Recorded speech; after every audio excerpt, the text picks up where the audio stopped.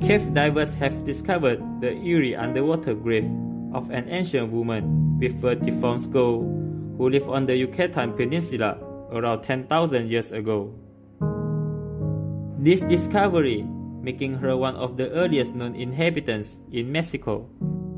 Traditionally, scientists thought only a group of humans crossed a land bridge connecting Asia to North America around 12,000 years ago.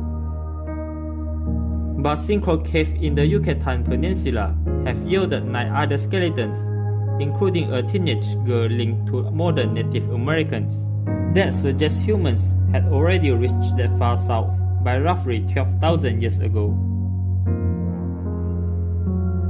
Back in 2016, explorers discovered ancient female skeleton known as Chan Hol 3 while mapping a cave in the Yucatan Peninsula. The skeleton had tooth cavities, indicating a high sugar diet, and believed she died around 30 years of age.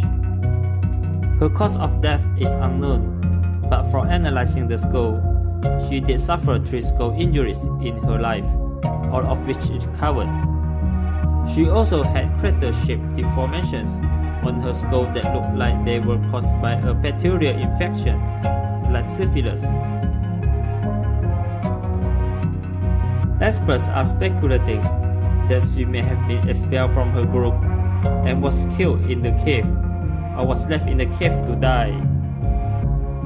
A more detailed analysis of the skull revealed that it was a round skull with a lower forehead.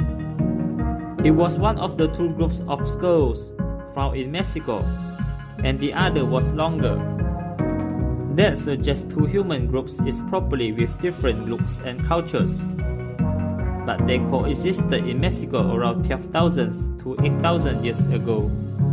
A striking feature of the part of the Yucatan Peninsula is the large complex of submerged cave and sinkholes.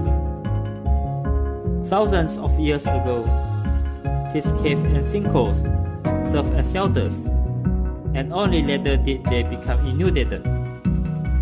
To date, archaeologists have discovered 10 human skeletons in this underwater cave, including the newly discovered Chan Hol three.